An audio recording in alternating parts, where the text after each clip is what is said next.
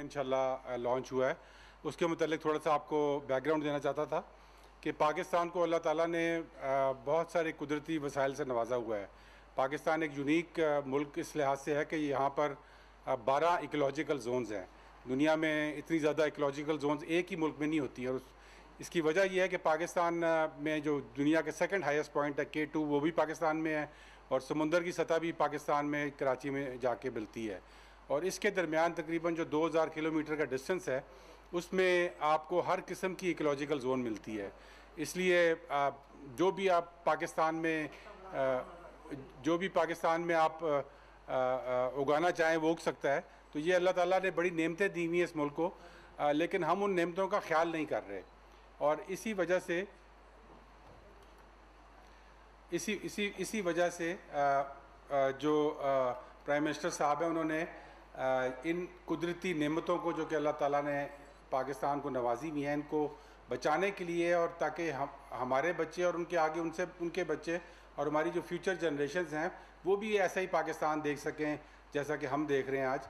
उसके लिए ये प्रोटेक्टेड एरिया इनिशिएटिव लॉन्च किया है।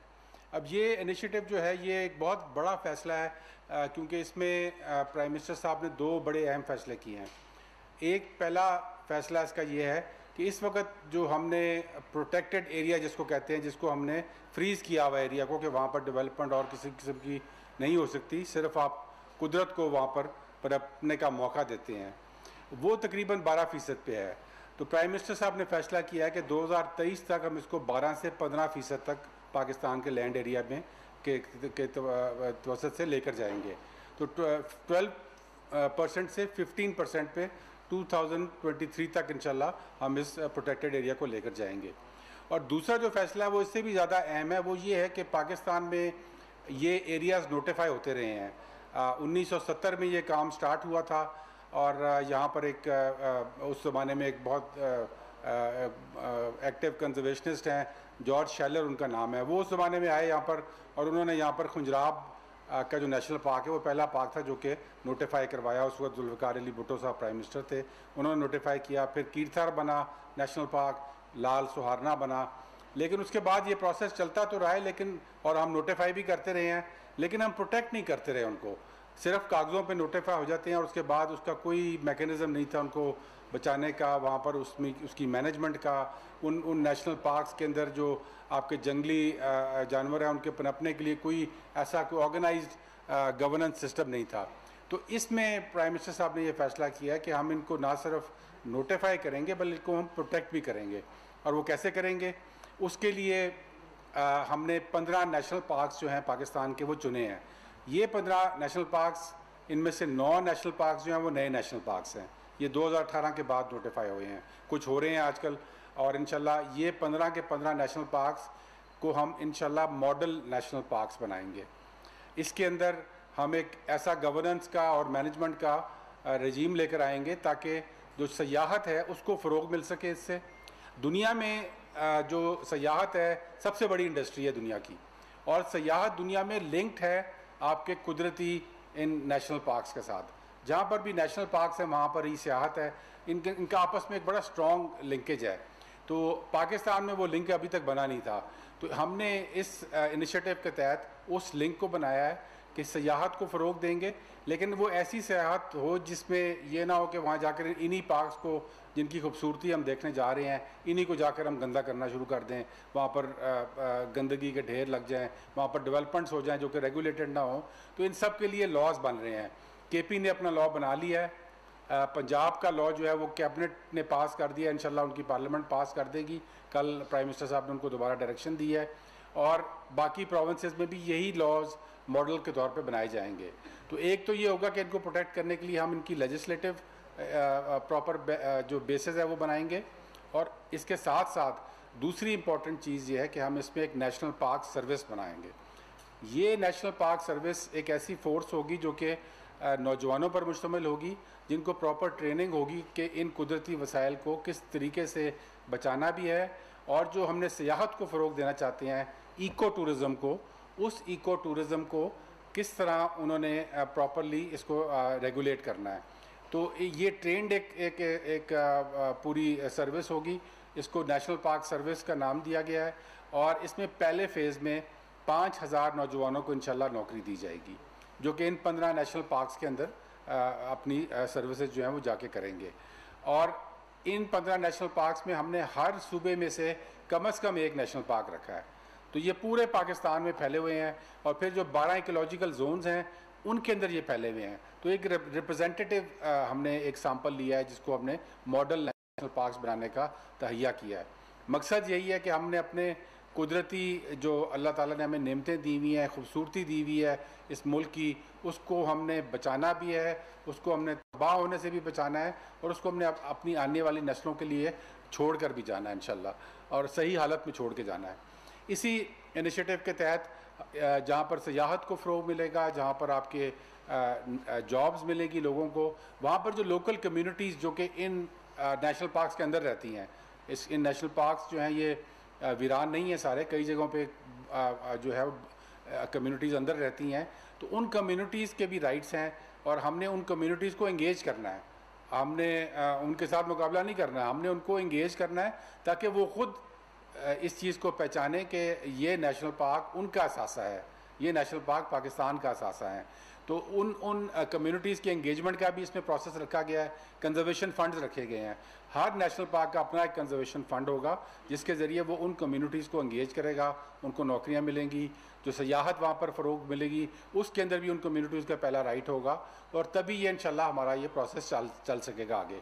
इसके साथ साथ इसका एक और मकसद ये है कि जो जंगली जानवर जो कि नापैद होते जा रहे हैं आ, मैं बताना चाहता हूँ कि इमरान खान साहब जब वो वज़ी अजम नहीं बने थे बल्कि जब उन्होंने सियासत में, आ, में भी नहीं आए थे तो उन्होंने उन्नीस सौ छियासी में एक किताब लिखी थी इंडस जर्नी के नाम से। वो किताब उन्होंने पूरे पाकिस्तान में वो फिरे और उसके बाद उन्होंने वो किताब लिखी और उस किताब को उन्होंने डेडिकेट किया दो चीज़ों को। और एक ये कि हमारे जंगलात जो कि ख़त्म हो रहे हैं उसको डेडिकेट किया और दूसरा उन्होंने कहा कि जो जंगली जानवर हमारे नापैद हो रहे हैं उनको मैं डेडिकेट करना चाहता हूँ। तो ये इनशाला उनका विजन था जो कि उन्होंने 1980 में देखा था कि पाकिस्तान के इन चीज़ों पे प्रेशर पड़ रहा है तो वो, ये उसका रिस्पॉन्स है, ये जो प्रोजेक्ट है। हमने 10 बिलियन ट्री प्रोजेक्ट भी स्टार्ट किया हुआ है तो जंगलात जो है उसमें कवर हो रहे हैं, और ये प्रोटेक्टेड एरिया इनिशिएटिव उन जंगली जानवरों का। हमारे पास अल्लाह के फजल से बहुत यूनिक जानवर मौजूद हैं। स्नो लेपर्ड हमारा दुनिया के यूनिक तरीन जानवरों में से है, जो कि नॉर्दर्न पाकिस्तान में पाया जाता है। और मारखोर हमारा कौमी जानवर है, वो भी नॉर्थ में पाया जाता है। आईबैक्स है, ब्लू शीप है, फिर आप उड़ियाल आ जाते हैं आपके पंजाब के अंदर, मुख्तलिफ़ किस्म के उड़ियाल हैं। आपकी मार्कोपोलो शीप नॉर्थ में है, हमारा ब्लाइंड डॉल्फिन है, जो कि सिंध में खसूस जो सक्कर का एरिया उसमें पाई जाती है। तो ये बड़े यूनिक जानवर हैं जो कि मौजूद हैं, लेकिन इनकी हमने कभी भी, इनकी एनलिस्टमेंट नहीं की कि ये कितने हैं क्या इन पे प्रेशर हैं? कम हो रहे हैं, ज़्यादा हो रहे हैं? वो सारा कुछ भी इसी प्रोजेक्ट के अंदर हम शामिल कर रहे हैं, ताकि हमें पता लग सके कि पाकिस्तान का ये असासा क्या है। ये दुनिया में भी इस असासे को पहचाना जाता है, इसको आइडेंटिफाई किया जाता है और उसकी हिफाजत की जाती है। और उसी के साथ आपकी सेहत जो है वो लिंक्ड होती है। तो इन इस प्रोजेक्ट में हम अपने इस कुदरती असासे को बचाने की तरफ़ ये इमरान खान साहब का एक विजन था, उसके तहत ये उन्होंने कदम उठाया है। चार अरब रुपए का ये इनिशिएटिव है। तीन साल पर इसकी मुहित है। इसके जो पैसे हैं वो फेडरल गवर्नमेंट के थ्रू खर्चे जाएँगे, लेकिन खर्चे की प्रोविंशियल गवर्नमेंट हमने ये पैसे उनको ट्रांसफ़र कर दिए हैं इस साल के, और वो इंशाल्लाह इस पर फौरी तौर पे इम्प्लीमेंटेशन स्टार्ट होगी। प्रॉपर पहले मैनेजमेंट प्लान्स बनेंगे कि हर नेशनल पार्क का क्या मैनेजमेंट प्लान है। और उसको किस तरीके से मैनेज करना है। और ये उसके बाद नेशनल पार्क सर्विस की हायरिंग स्टार्ट होगी, उसकी डेवलपमेंट होगी। और फिर इंशाल्लाह कि एक जो जो सयाहत है इको टूरिज़्म का का जो एस्पेक्ट है, वो इसमें शामिल किया जाएगा। ना सिर्फ़ इन पार्क्स में, बल्कि इनके इर्द गिर्द जो बफर जोन होते हैं, उनके अंदर।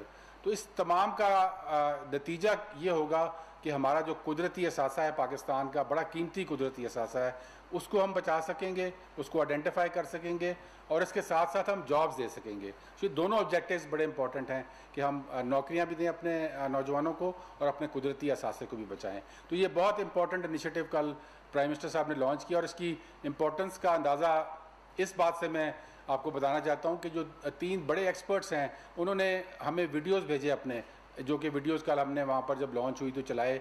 उनमें एक जॉर्ज शेलर हैं, जिन्होंने ओरिजिनल पाक, पाकिस्तान का बनाया था, वो अब नब्बे साल के हैं, लेकिन उन्होंने अमेरिका से ख़ास एक वीडियो भेजी इस इस इनिशिएटिव को सराहने के लिए। फिर world commission on protected areas ये दुनिया का सबसे बड़ा अदारा है, उसकी चेयरमैन हैं डॉक्टर कैथी उन्होंने अपनी वीडियो भेजी। और फिर एक एशिया प्रोटेक्टेड एरिया पार्टनरशिप है, जो कि एशिया के पार्क्स को हेड करते हैं। उन्होंने इसकी, इसके लिए हमें ख़ास वीडियो भेजी। तो ये इंशाल्लाह हमारी हुकूमत का जो क्लीन एंड ग्रीन का विज़न है, उसमें ये एक अहम सतून है, जो कि कल हमने इनिशिएटिव लॉन्च किया है। और जैसे मैंने बताया कि ये इंशाल्लाह ग्राउंड पे बहुत जल्दी आ जाएगा, क्योंकि इसके पैसे इस बजट में भी रखे गए हैं। हमने रिलीज़ भी कर दी हैं प्रोविंसेस को, और बहुत जल्द इस पर काम शुरू होगा, नौकरियाँ भी मिलेंगी, और हमारे जो कुदरती असासा है, उसको भी हम बचाएँगे। इसके साथ साथ मैं आपको ये भी बताना चाहता हूँ कि अभी जो मैं एक मीटिंग अभी प्राइम मिनिस्टर साहब ने चेयर की थी, वो अटेंड करके आ रहा हूँ। वो मीटिंग भी बड़ी इंपॉर्टेंट थी, वो थी शहरों के मास्टर प्लान्स के बारे में। क्योंकि हमारे शहर जो हैं, वो बेहंगम तरीके से बढ़ रहे हैं। और प्राइम मिनिस्टर साहब ने एक कमेटी बनाई हुई थी, आज उसकी दूसरी मीटिंग थी।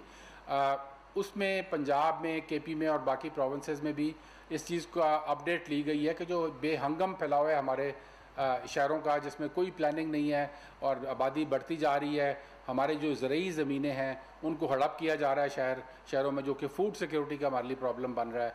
और जो जो बेहंगम प्लानिंग हो रही है उसकी वजह से आपकी जो आ, आ, एक इकोलॉजिकल डिज़ास्टर बन रहा है। मतलब उसमें आपका ना वेस्ट का प्रॉपर सिस्टम है ना पानी का प्रॉपर सिस्टम है ज़ेर ज़मीन पानी में आलूदगी फैल रही है।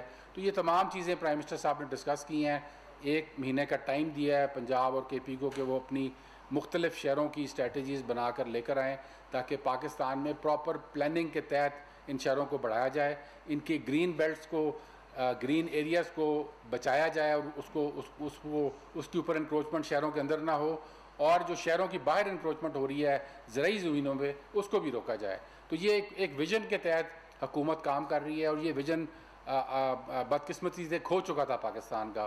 1960 की दिहाई में तो ये प्लानिंग चल रही थी। उसके बाद यहाँ पर जो दबरदूज हुकूमतें आई हैं उन्होंने कभी सोचा ही नहीं कि आने वाली नस्लों ने इस मुल्क में कैसे रहना है, आने वाली नस्लों के लिए इस मुल्क को हमने कैसा छोड़ के जाना है।